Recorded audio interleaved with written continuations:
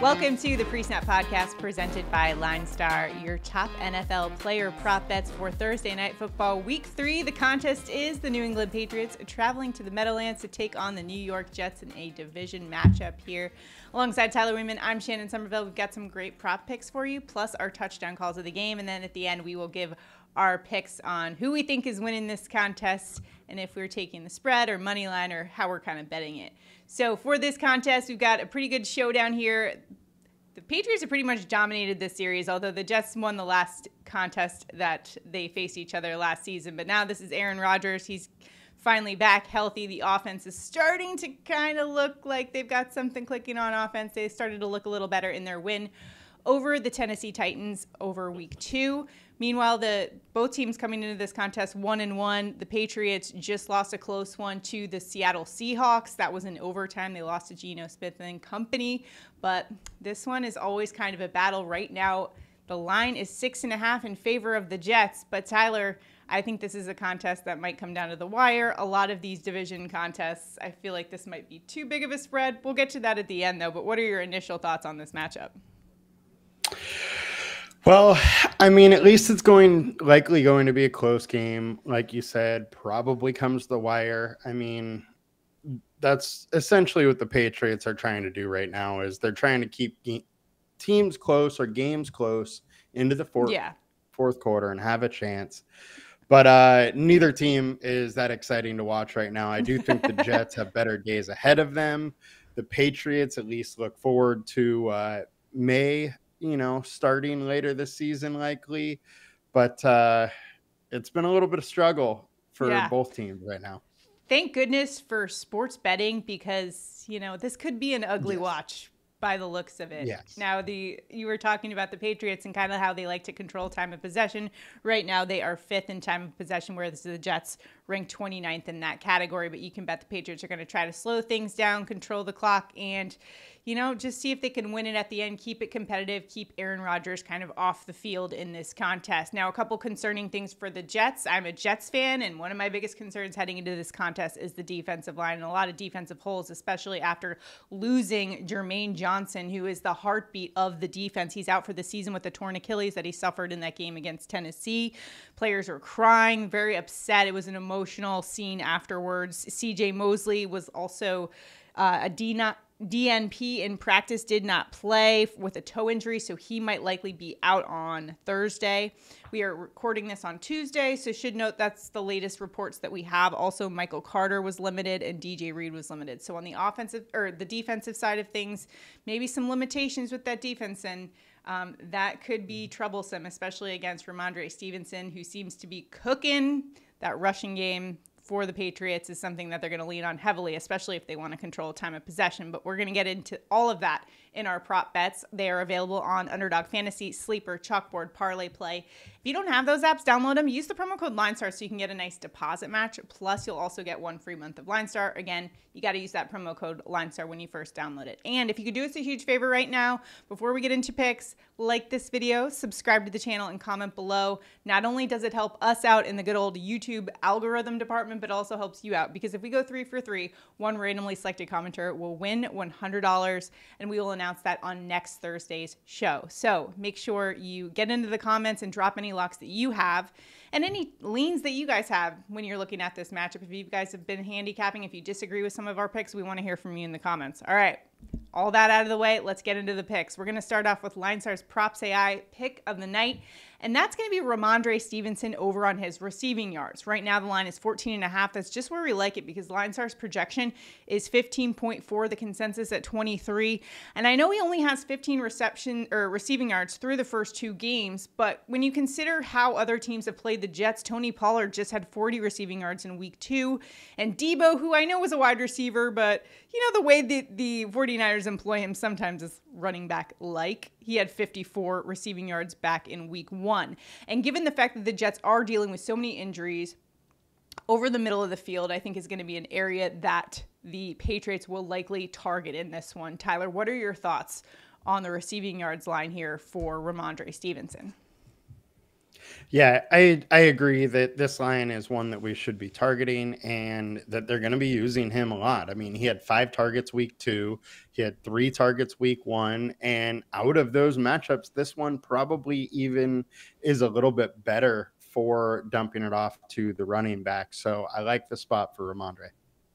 And Jacoby Brissett also, I noted this to you, but last year against the Jets, he actually faced them when he was with the Washington Commanders. Uh, Sam Howell ended up leaving the game. Jacoby Brissett comes in in the third quarter late and ends up throwing for 100 yards and a touchdown for the comeback win against the Jets. So he is somebody who knows how to distribute the ball against this Jets defense. He's done it before. So I think he could lean on his running back here to get him some yards over the middle. Uh, next up, Tyler and I will give our picks for the night. Tyler, where are you headed for your prop bet of Thursday Night Football? I'm going to go to the running back on the other side with uh, Breece Hall over 4.5 receptions. Line star projection has him at 5.4. He has 12 receptions through 5.4 or through two games so far. He's averaging six per game, five in one, seven in the other. So he has hit 100% of the time so far. I also think that the Patriots are likely to try and take out Garrett Wilson. They have a very good young mm-hmm. corner that is going to likely be all over him. And right now, the second option in this passing game is Breece Hall. I do think that may change the, throughout the year, but as of now, Breece is getting a lot of work, and I think he's going to keep getting that work uh, this week. Yeah, he seems to have full confidence of Aaron Rodgers in terms of that passing game. You mm-hmm. saw it unfold in the game against the Titans. In fact, I think uh, it was Breece Hall who told him, "Hey, I'm on the fly for this one," and he hit him with it. So uh, he definitely trusts Breece Hall and like that over there on four and a half receptions for Breece Lightning. For my pick, I'm a Jets fan, but I am in full fade mode. So I'm going to the Patriots side, and we're looking at their tight end, who's turning out to be one of their more solid offensive playmakers. We're talking about Hunter Henry and over on 32 and a half receiving yards. Now, the consensus projection is over. Kittle had 40 receiving yards in week one against the Jets. Now, Chig only had 16, but I really like the line here for Henry, and I think he should hit the over. This is a guy who had 109 receiving yards last week against the Seattle Seahawks defense. He only had 18 week one, but I expect them to try to target the kind of the middle of the field in this one with some of their um, passing plays. And that Jets defense, again, no depth at the defensive line right now. They're already thin there. So I think this could be an area that the Patriots really target. And Hunter Henry has been the most reliable offensive weapon for the Patriots thus far, and I expect them to lean on him heavily in this matchup. So Hunter Henry's got my pick for over 32 and a half receiving yards. Again, you can find those on Underdog Fantasy Sleeper, Chalkboard, Parlay Play. But remember, when you download those apps, you got to use that promo code LineStar so you can get that nice deposit match plus one free month of Line Star. So once again, our picks Rhamondre Stevenson over 14 and a half receiving yards, Breece Hall over four and a half receptions, and Hunter Henry over 32 and a half receiving yards. We're going to put them on a ticket. And if we hit our picks, one randomly selected commenter will win $100. So make sure to drop your comment below. Now let's get to touchdown calls of the game. Tyler, where are you headed for an anytime touchdown in this week three Thursday night football contest? I'm going to go with Rhamondre Stevenson plus 135 to get in the end zone. Look, I think the Patriots' path to victory is to bulldoze their way to the end zone. Week one, Mason had 153 total yards and a touchdown. Week two, Tony Pollard, 102 total yards and a touchdown. I think week three is going to be the Stevenson show. And yeah. with all of that, the Jets even lost more players. So I think it is even more of a beneficial spot for Rhamondre than it was for either Mason or Pollard.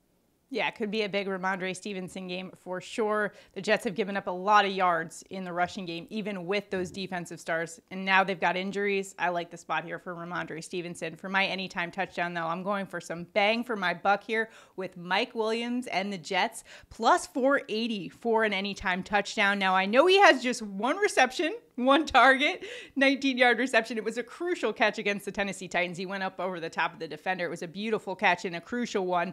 But he's coming back from a knee injury, so they've been kind of easing him into the season. But he's going to try to get him on the field more. And with crucial catches like he made against the Titans, I expect Aaron Rodgers to lean on him, especially in the red zone.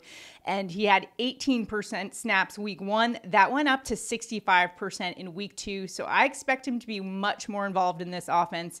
And we'll see that on Thursday night against the Patriots. Hopefully, we'll see Mike Williams in the end zone because that's a nice little payout there at plus 480. I like that Mike Williams touchdown.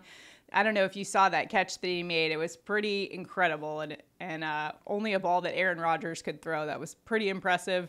Probably the you know every Jets game that I watch because I'm a Jets fan. It's like most of the game I'm just sitting there cringing and like oh I can't watch. But that was one that I was like oh that was pretty good. That was a pretty good throw there. But uh, those are our touchdown calls. If you've got one that you like, make sure to drop it in the comments. Now it's time for Tyler and I to choose basically just the game winner in this one. Right now, the Jets are favored by six and a half. So, how are you playing this one, Tyler?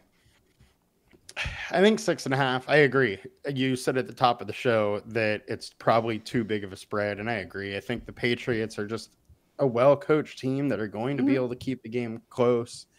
If I was betting aside, I would probably take the points and go with Patriots. Yeah, I think six and a half is too much. Patriots know how to control the clock. Jacoby Brissett is a guy that doesn't make a lot of mistakes, doesn't turn the ball over, which is exactly what the Patriots like. They want to keep this one close. I think that they do. I think the Jets come away with the win. However, I like the Patriots to cover here. So I'm with you on that one. Hopefully the Jets can get a win though something they don't often do against the Patriots. So, uh, but I'm looking forward to seeing how both teams show up. I think this is going to be kind of a defensive onslaught. The over under 38 and a half, and I got to tell you, Tyler, I think it's going to go to the under in this one. That's my first read on this one. It's been under the last four times these two squads have faced off. Um, so that's kind of my read on. I don't know if you're playing the game total here, but I'm going with the under. Any thoughts on that one? Uh, I mean, I I wouldn't be playing it, but I probably agree. I don't think right now either offense is really good enough to get it over that uh, that number. Yeah. I think the Jets maybe later in the season will be a proficient offense, but right now, I mean, a 18-16 type game or something like that sounds pretty good to me. All right, so those are our picks. If you agree with us, let us know. If you disagree with us too, you can write it in the comments as well. Let us know your thoughts on this Thursday night contest. Should be a good one. Make sure to check out Tyler's DFS breakdown if you guys are rolling in some DFS contests in this one.